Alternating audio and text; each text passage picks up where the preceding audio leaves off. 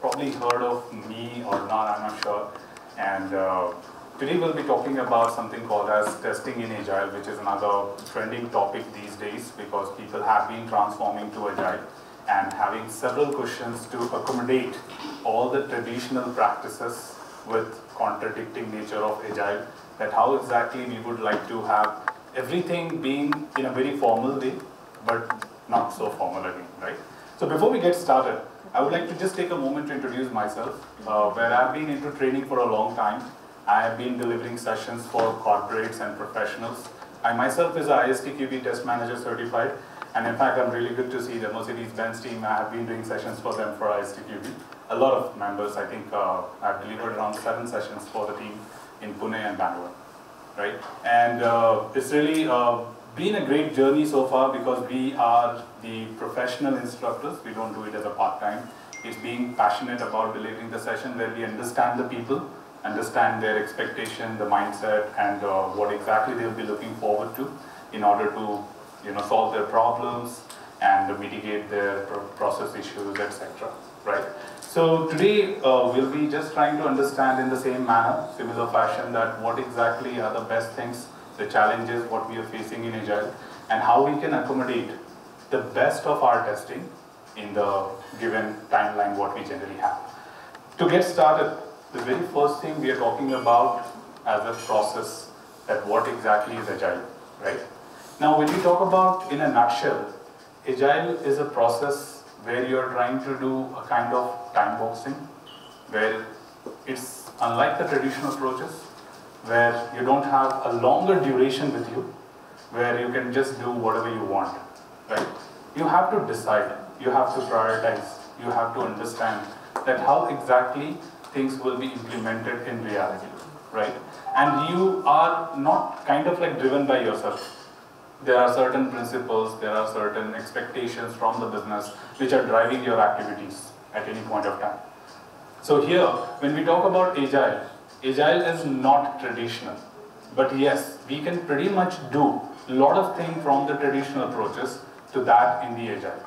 But it all depends on what are your key expectations from the process, right? Now when you talk about the process, we are again not considering and contradicting with that manifesto or the core value that process over tools, right? All that concepts, right? Here we are talking mainly about the understanding of what exactly is the need which you need to perform as a part of the process, right? For an example, if I talk about traditional where the customer was left away from what exactly we have been doing, understanding that having a frozen requirement given to you, where you start building up requirement documentations, writing comprehensive detailed information, and then designing it, developing it, and testing it. And post that, the customer gets the first feel and look of what exactly is the product being built right? And maybe to a certain extent, we are delivering buffalo with a trunk on it, considering that it is elephant, right? So the question here was that, was I missing anything important to be covered as a part of my interaction with the business? We do understand that human beings are error prone. We are capable of making mistakes. And that's the reason testing came into picture, isn't it? We had developers who were very highly capable of implementing the work, they were the people who were responsible to build the product. But still, we had somewhere some gap. The customers and the end users found anomalies in our product. Right? And we tried analyzing this theory that where exactly we went wrong. Did we hire wrong developers? Did we hire people who are not qualified to do that job? No. We understood a very common human psychology that you cannot find your own mistakes. Or I would say you can find your mistakes, but not everything. Let me just correct myself there. You are capable of reviewing your work, but not to the 100% extent. You cannot be just proficient in finding your own mistakes, but you're good at finding others' mistakes. It is easy, isn't it? It's quite professional. So you just try to prove that, yeah, you know what, I was just looking at you when you were talking, and these are the places where you did something, wrong. So we called it out as a profession. And we also analyze our academic process, like examination all, when a student has to write an examination of three years, no matter how many times you revise before submitting the paper, you cannot find all your mistakes, right? So what do you do? You give it to the teacher. given that teacher is not the person who has written the examination, can very well find out your mistakes, where you went wrong. Now this psychology became the profession in our IT industry. That given that perception of human mindset, that you are good at finding mistakes in what you have not done, we call them as testing genius, right? With the perception of proving that the other people are not up to the mark, right? But with a professional touch for sure. We are not here to blame each other. We are not here to contradict with other parties, other stakeholders, but make sure that we work together to build a quality product, right? So that was the era where we started testing. And today when we say that, come on, we are not giving you enough time to do that, whatever you have in your mind. Of course, there's a timeline required for everything, right? I would like to a little bit take you on the principles of testing as well on that context. We have heard of something called as exhaustive testing is impossible, right? What do you mean by exhaustive testing? When we say exhaustive testing, it means trying out with all possible scenarios, all possible combinations of data and performing that in practice. But first of all, maybe every tester is different in their perception and there's no end to it. If I ask you that, hey, this is a requirement, can you write some test cases?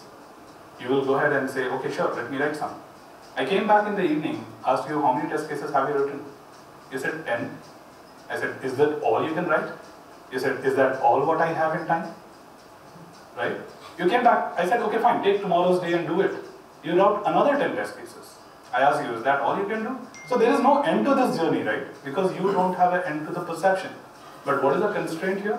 The time factor. That if I give you time, you can pretty much implement all your thought process, implement all your perceptions, and certainly test the product in the best way. But now the question is, do we really have that time? Do we really have that enough bandwidth of performing everything what comes to our mind? And that was just one tester, right? We may have five to 10 testers in our team and they are distinct in their nature. So point is exhaustive testing is impractical to be performed, right? So what we did, we created some techniques to reduce our effort, came up with our domain specific practices that hey, we are driven by ISO 26262, we are driven by SPICE or AUTOSAR and sort of thing and then we want to just make sure that whatever we are doing is going in line with that. Because finally at the end of the day, these are the guys who will ask questions to us. Why did you write this test case? How did you write this test case? Why did you pick this specific technique? Why not the other one, which we recommended you as per the ASIL level, right? So the questions will be according to that. So this is where we understood that Agile is a, not the ordinary traditional process. It has a time boxed session for us, which is like sprint. Sprint gives you freedom of performing whatever you have to cover in that particular sprint, but within the limited time, what approaches can you take to complete all that what you really want to do in the limited time given to you, right? So the question starts here. The journey actually begins at this point that how to perform that efficient testing in the given timeline, right? So we start with deriving understanding of the dependencies, the risk factors, the complexity of the module, and on top of it, of course, you have the time pressure, right?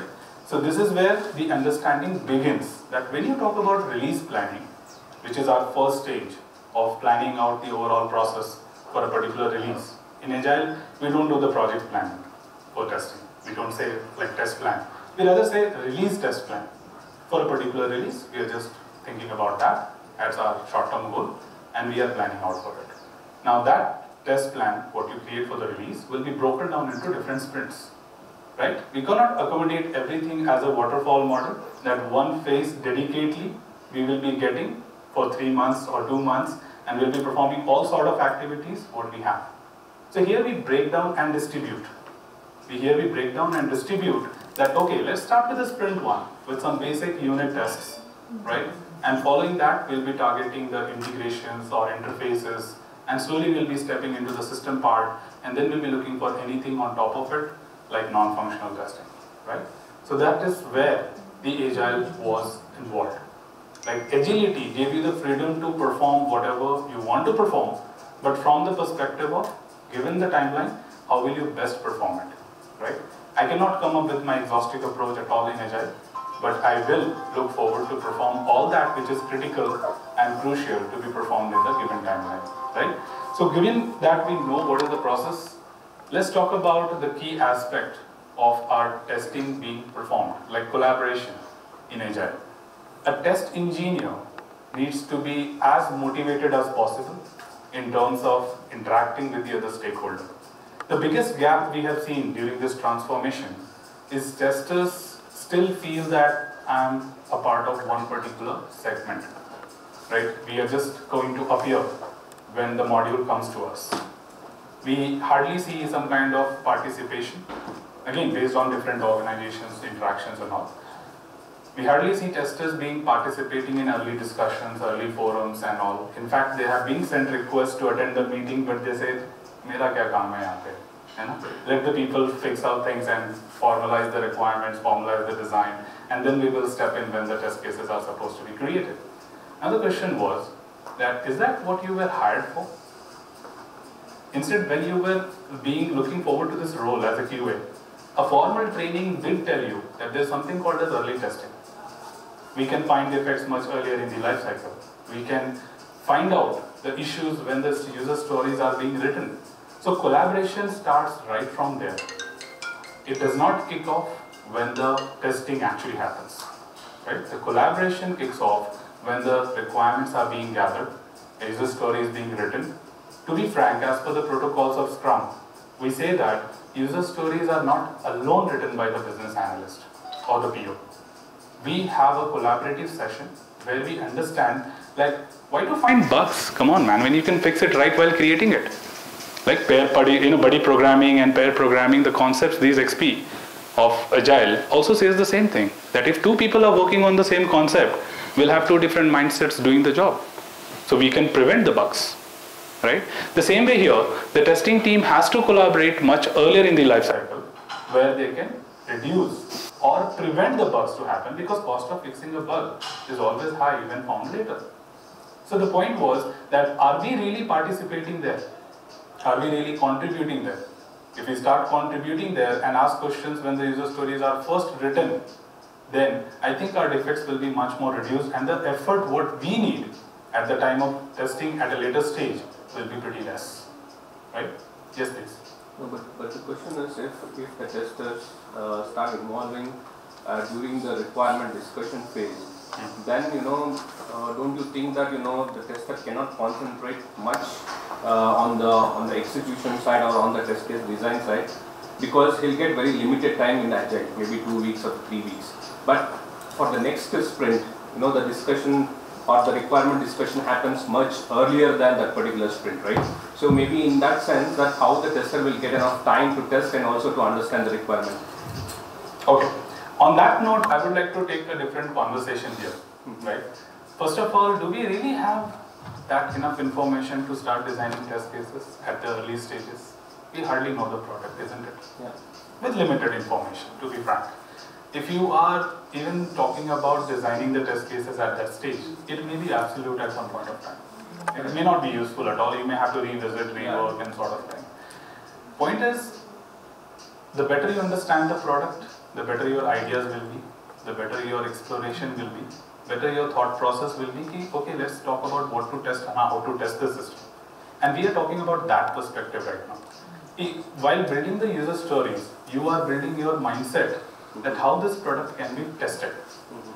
You are not ready with all that information that can really build some rigid test cases mm -hmm. and help you to plan out your activities that okay, unit testing or integration testing and sort of thing can happen in this schedule. We are more worried about that exploratory way, right? When you say agile, inherently it is called as exploratory testing. Again, what is exploratory testing? Where it gives you the visions, where it gives you the idea, you ask questions to the people right? The person who is writing the requirement or telling you this requirement, you ask questions to them. That, all right, I understand that this is the particular functionality. What if a customer does like this? What if a end user does not have a Google account? What if an end user wants to sign up directly? Right? They don't want to share any other credentials. So in that context, what we are trying to convey here is while building the stories, you are not worried about creating the test cases, rather getting that mindset developed that what this product is all about and then following that you know what exactly to write, what exactly not to write and how much to write. Does that answer your question? Yeah, yeah, but uh, one more question is like, Sure. which, which is the you know the right stage for the tester to involve? Because whether this is once the requirement and the you know the requirement document is ready, and maybe that is the right stage to involve along with the developers to understand what exactly the you know the requirement, or maybe when it is discussing with the product owners or the business analyst when you know the requirement is not fully ready. So See, again, uh, when we say the principle of early testing, we also understand that cost of fixing a defect is higher at a later stage. Now, what is that later stage means, right? So the point is, if a requirement is formally documented, mhm. and then if we start reviewing it, it's a, it's contributing to rework on the requirement. So that is also a later stage. Okay. So my consent here will be that you start working right from the draft. When the first piece of information is shared to you, you start interacting with the BA. Okay, BA, have you, you have written a formal or informal requirement right now, a draft of a user story. Let me ask you a few questions that who is this profile? Hmm. I don't see a portfolio here. That is a user, administrator or customer, what is it? Which user persona are we using? Okay, fine. Do we have a clear acceptance criteria with us? Yeah. Right? And that too, when the acceptance criteria are written, they are generally written sometimes vague or sometimes uh, incomplete, sometimes which a QA cannot accept. Saying that I understand this is from core technical parameters, but does that really make me believe that it is working fine? Is this what the customer or end user is expected to perform? Right? For example, if I say a vague requirement that I want the performance to be very good, Mhm. it's one of the acceptance criteria for my performance testing or performance scenarios. Now, performance to be very good can be anything to anyone, right? Now, I would say by very good means what? So, I'll ask this question back to my PO or my business analyst that boss, can you please elaborate these on these five parameters? I even contribute, right? I tell them, tell me what is the response time you're expecting with what number of users. If you say 1000 users, I'm expecting less than or equal to 3 seconds. Next clause, tell me what if the users are more than 1000. So 5000 users, less than 5 seconds should be okay. Right? And the resources, what are you going to use? So description should contain that. Like what is your RAM size, CPU utilization, and what are the threads and processes, everything, right? So point here is to say that the tester can participate as early as possible in the life cycle. Again, not going by the theory, practicality, that you can even just get casually involved with the BA, mm-hmm. say, hey, what sort of information is coming in, what kind of product are we looking at, what kind of expectations they have, what kind of prof- profiles they have. So you will be doing your own mind mapping. That are we really understanding what we are supposed to test, right? So I hope that goes in. Yeah. Sure. But does that happen in real world? Because in one week, you see, saying things is very easy. In one week, 10 days, cannot accept everything to be done, right? What you are saying to ask them, developers will not have time, designers will have not, they will simply say testing work will come later. So it looks good to listen and to Yes. say this, but practically if, if you work, you will not get all this thing, what you are saying right now. So we are actually practicing that in my organization, right? I, I know it's difficult to get there. it took five years to get there, but then we're doing that in a single sprint. We have everything covered. So, So, I totally agree with you. It really sounds very interesting and very good to hear such things, and it uh, takes time for sure. But I would tell you something more on what you have just asked here. Uh, that I had an instance in my past organization where I was working. Uh, when the sprint planning, let's take a sprint itself, okay? Let's talk, not talk about release or project and all. Let's take a sprint, sprint one. The day one, the sprint planning happened, right? And during the sprint planning, the PO took all the effort to explain the stories to the whole team. In fact, testers were a participant there, right? They were listening to it. So PO was only driven to the designer, driven to the developer that hey, this is the story where the customer is asking to do this, this, this is what I should do, then this is what should happen. Right? The formal way of explanation. And explain the description, etc.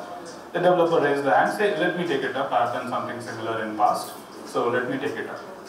So he assigned some estimates to that and he said, I'll take the accountability on this, I'll finish this. And the tester did not ask any questions.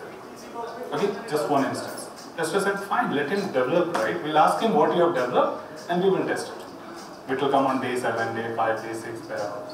So point was, why didn't we ask a question during the sprint planning? We can ask those questions that, hey, as per me, if I have to test this development story, I need these attributes to be there. I need this information to be there.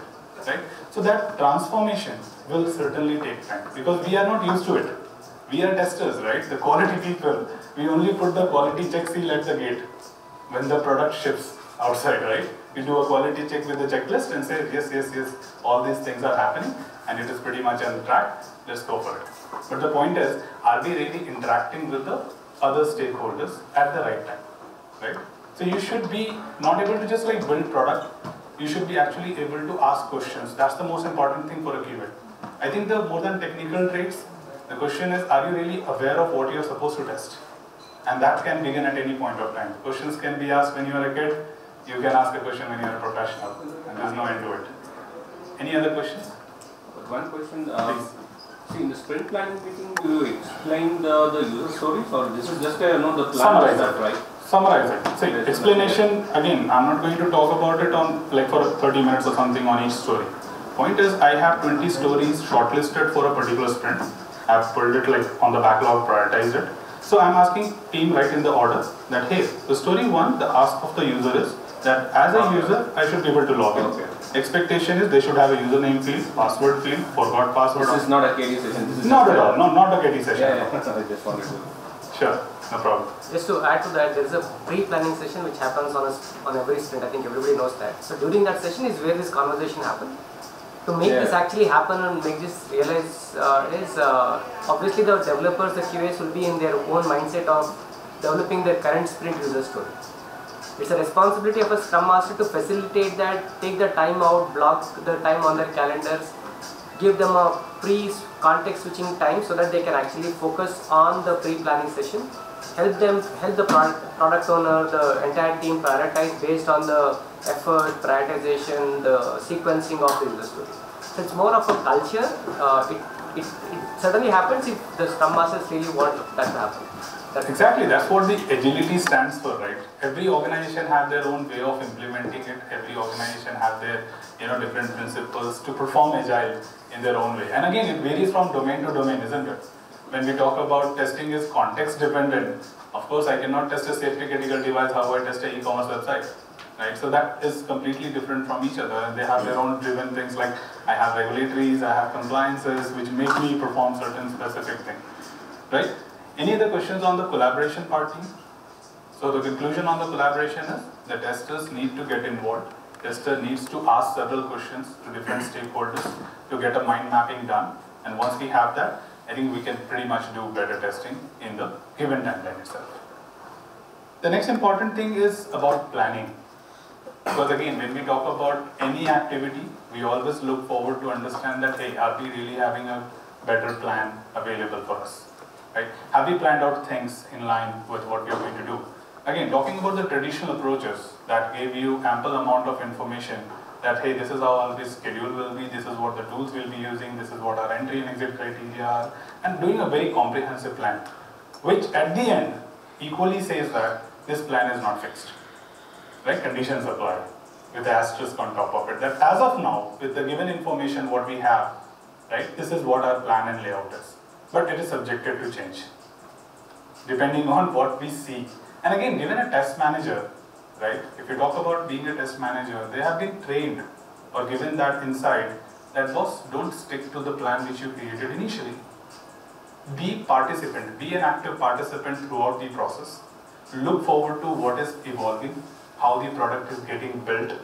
Because when you start interacting with something, you realize things are not how we thought about it.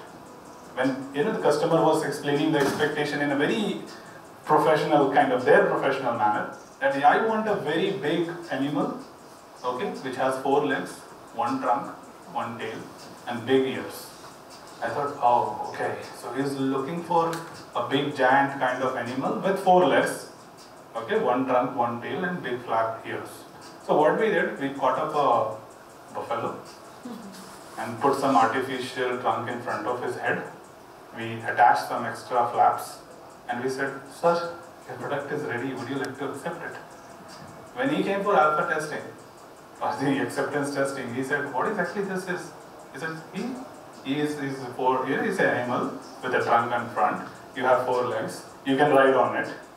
Plus, we are giving some delightful experience to you. It can also give milk, which you never asked for. Oh, really? Right? So you understand the difference here, right? The explanation when it is initial, initial phases, we may have different perceptions towards the product. The point is, when we continue working with it, then we realize what exactly is the ask, what exactly is the expectation. So point here is that you may have a outline with you, but not exactly a plan. You may have an outline with you, that too for a particular sprint. Now in Agile, planning happens in two different stages. One is for the entire release and one every single sprint. That's the reason you close the sprint with a retrospective. That did we do that? How did we do it? Can we change something? Can we stop doing something? Can we add something new to it? So we transform it. In traditional, the closure happens only once at the end of the project. So in Agile, we do it quite often so that there is a room for improvement and change every single sprint. So we don't look forward to have a rigid plan first of all, especially in Agile again. We don't plan out. We just have an outline, we have a perception, we have a mindset that what are we supposed to do for this sprint. And we are just limited to that. We are not worried about what's next. We are not looking forward to the next few sprints at all. We are just worried about in this sprint, will I be able to deliver my stories or not? How? That is what you answer. How? How will you deliver it? That is, what is the ask? What are the expectations? What are the key goals which you have to achieve? And then, once you are having those questions from the previous discussion, the theory from the sprint planning, then you can certainly answer them during the sprint. And once you have done that, it's an achievement, right?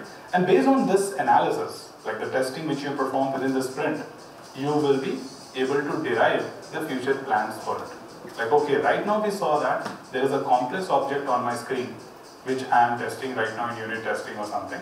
Then later, it may create a problem when it comes to interfaces, because it has a sync issue as per my past experience, right? So your experience, your questions, your knowledge about it can help you to build a better testing within that particular iteration.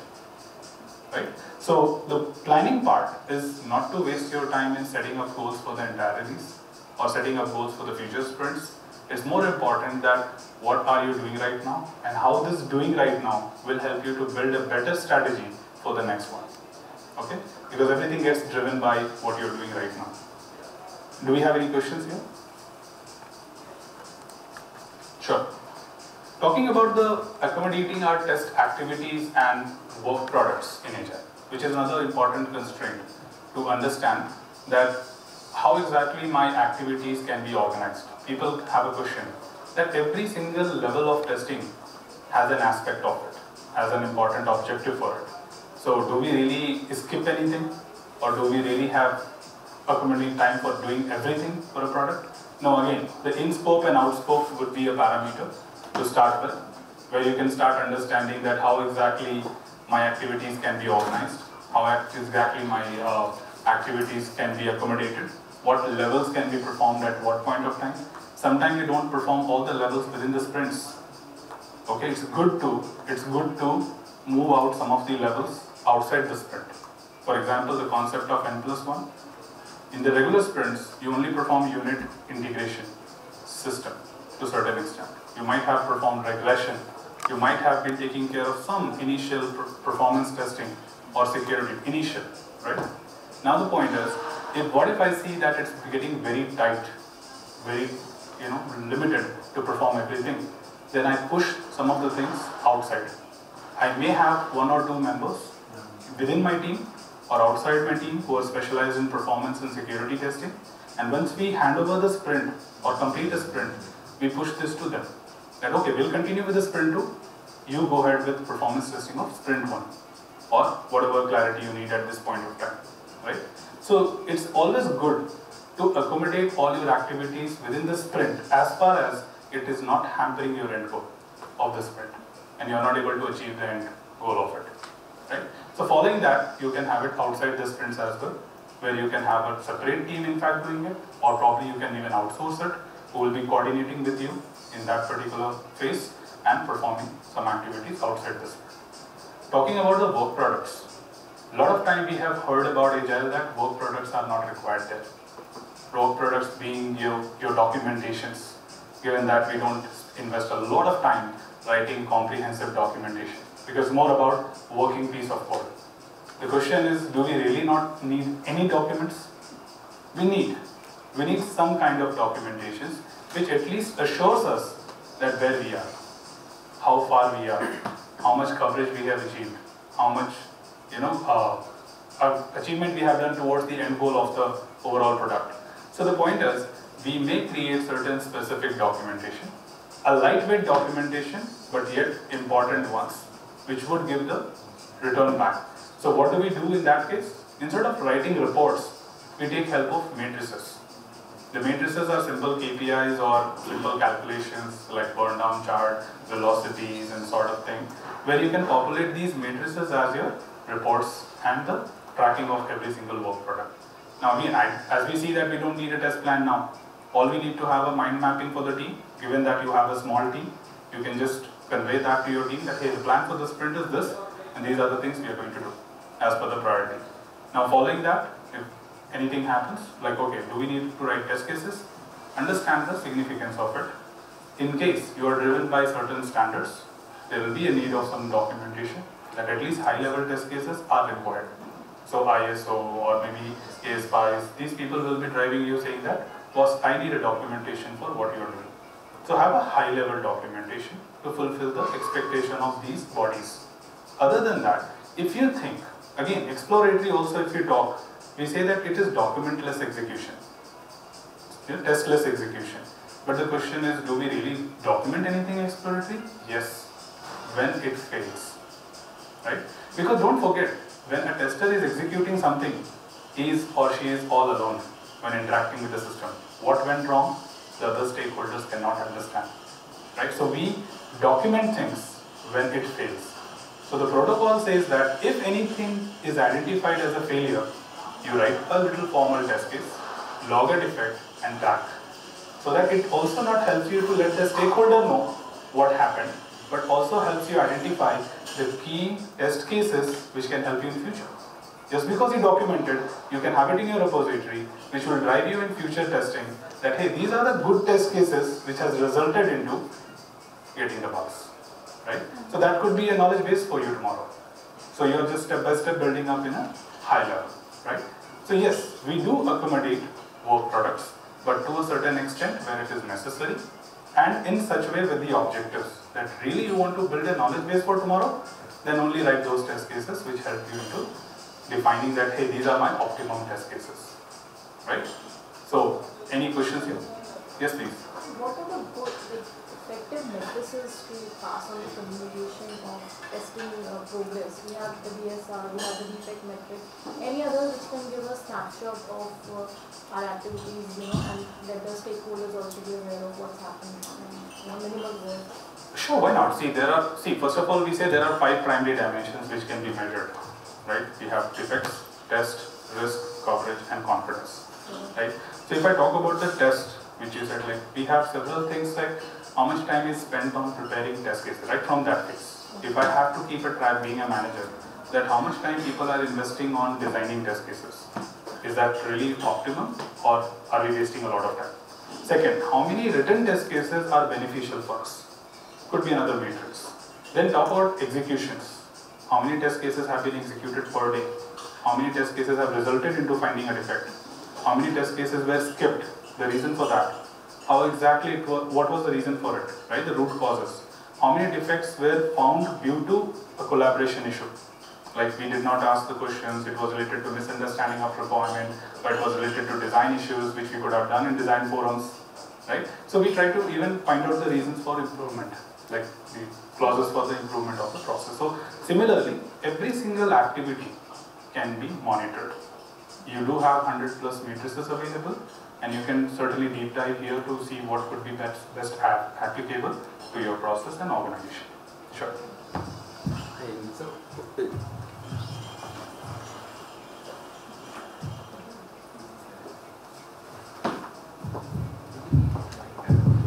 so uh, you said that there are a couple of activities that testers do can be taken out of the sprint and then work like n plus 1. Is it the recommended approach or if it is then how we'll be able to deliver which is promised as part of sprint delivery because testing is not done completely?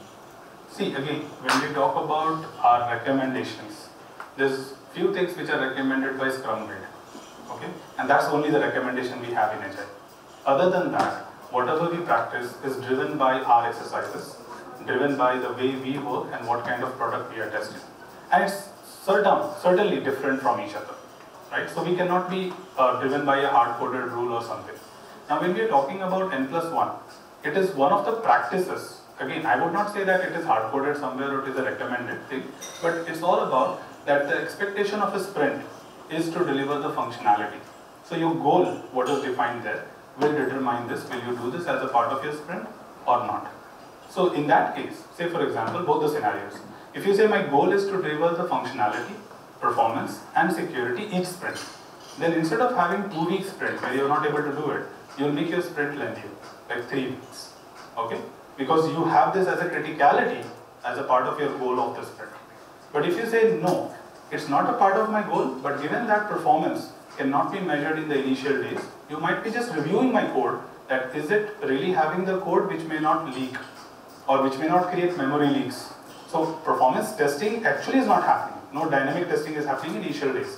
What we are doing as a performance engineer, we are reviewing your code to check that if it is written in the way which will support the performance tomorrow.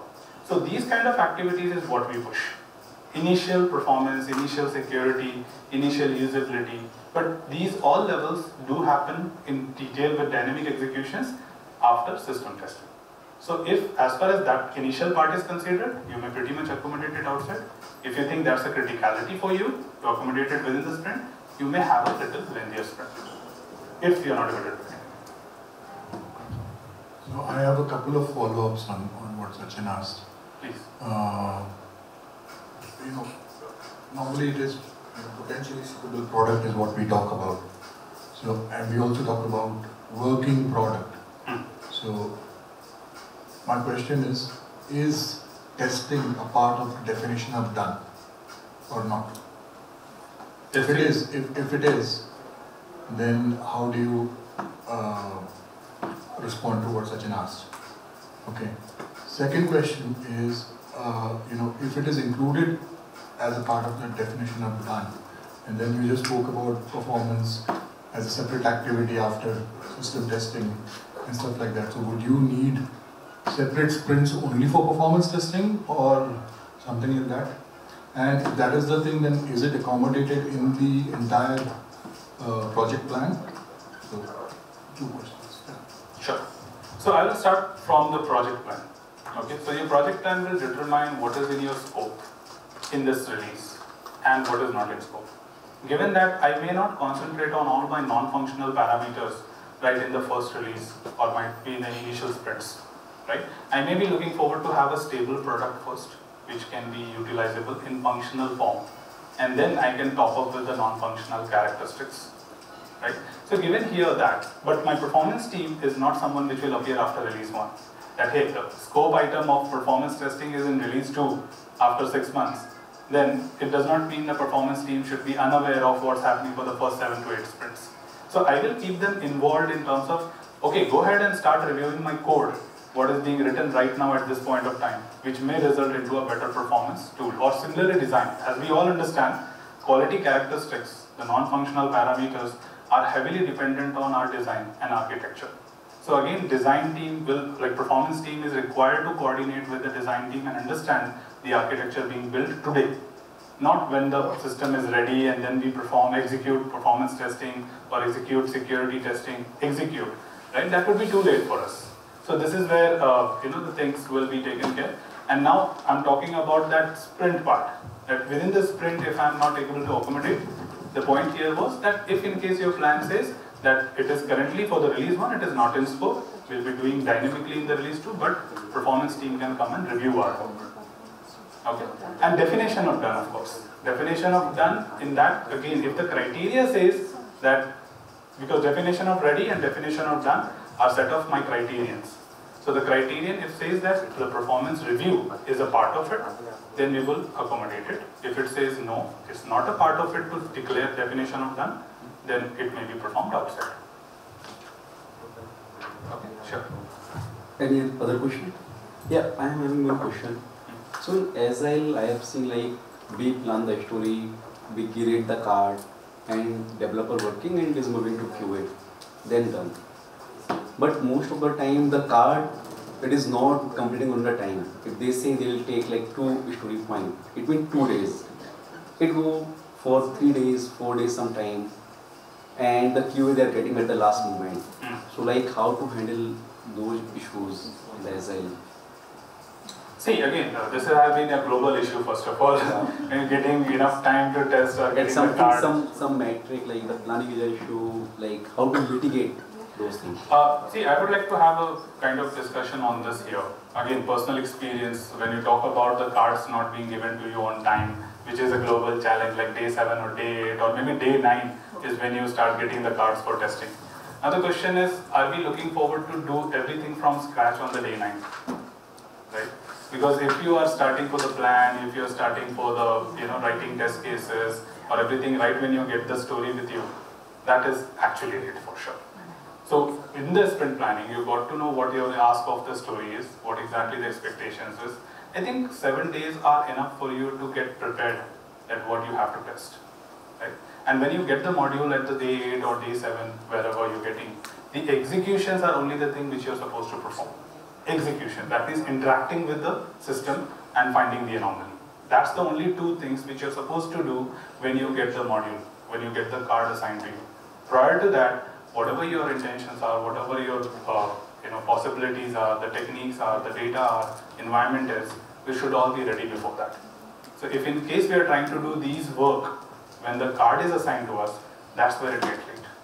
So again, there are many other reasons, factors influencing this that we get card in the you know late in the life sprint that certainly can influence it. But the major intentions are that we start doing everything right from scratch when we get the card. Then we start reading the story, then we ask the question to the PO that this acceptance criteria is not clear, can we amend it, can we get it clarified, so you're on hold. Okay, so I hope that answers your question. Yeah, got it. So I think planning wins, right? No, pre preparing your work Preparing. other than execution while the sprint planning is done after that. Okay.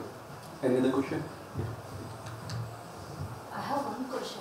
Regarding, for example, consider we are doing mobile testing and there are a number of devices where we trigger different problems depending on the device settings, whatever it is. In such scenarios, all those will be under the backlog because either the team will not have such devices. For example, I worked on multiple devices for my last project where I could cover up to 18 to 19. But right now we are holding only 5 to 6 testing devices. In such scenarios, all would be like considered as backlog. So are we like uh, in the agile methodology, are we able to create a sprint for the backlog or we push? Because there are several things as per the market. For example, 2021-22, we have many Motorola series which were released where we don't have that MVP for that. Well, because we have particular market analysis as per the 99 2018. So in that how we need to because it is a solution again it is a global problem Exactly. for every PA but being a QA for mobile testing for years is the thing where I'm facing for every organization or project. See, again, having the uh, prioritization on the devices would be the first thing. That, again, there could be n number of possibilities of what devices are being used by the people, right? Then budget allocation. Budget allocation is another constraint. You cannot just afford to buy every single device with every different version of it and then test it. That's the first thing. Second thing is if you think there are few initial levels of testing which can be performed in your regular sprints, some parallel sprinting can also happen. Where a set of QA team will be doing the other devices testing outside the sprint but parallel sprinting. That means you finish the work, hand over for the rest of the devices and the other team can parallelly perform it. So it may be done parallelly or it may be done with the N plus 1 model where you are doing sprint 1 of the initial functional testing on regular devices and when you move to sprint 2, the team 2 does a parallel sprint with your sprint 2, their sprint 1 kicks off with the other devices. So at the same time the bugs can be immediately reported in the other devices while you are still in that particular flow. In real time, either there will be problem or there will be like different because we don't have the devices. That's the fact. Sure, thank you. Yeah, I think uh, that's the last thing what I wanted to quickly talk about uh, when you say. Sorry, when you talk about the tester skills, uh, I think we have been aware of everything about being in Agile as a tester. So more importantly, it is the collaboration and uh, the other important things, of course, makes you more self-motivated.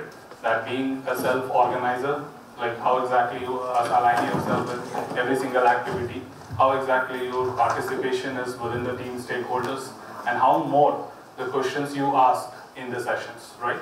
In that sessions which is related to your sprints, that every single session, be it a retrospective or QA has to participate, sprint planning, backlog grooming, where you can contribute that, hey, we have a dependency and we cannot prioritize this. Or there is a feedback which is more important to be resolved, which is related to this bug. So this could be prioritized.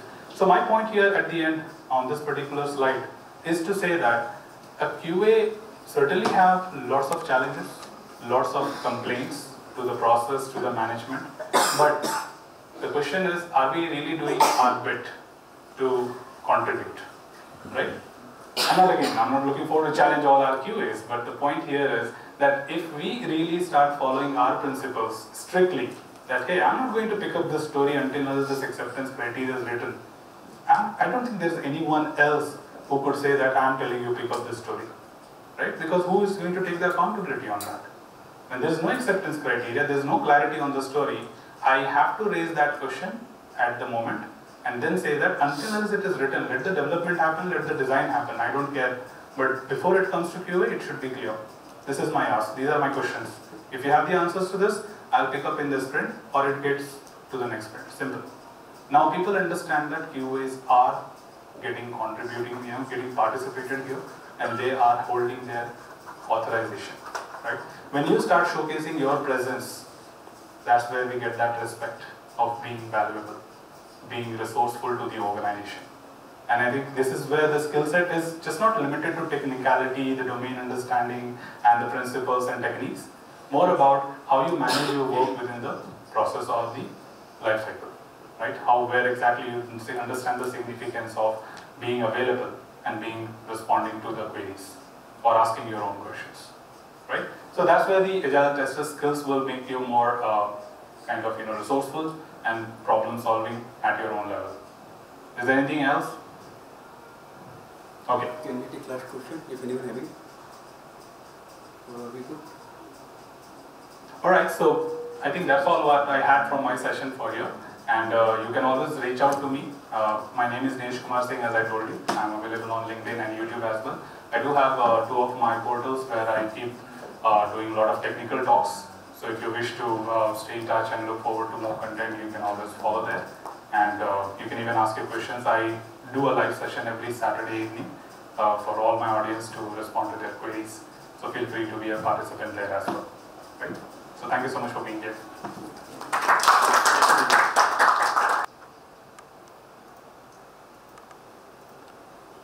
Thank you.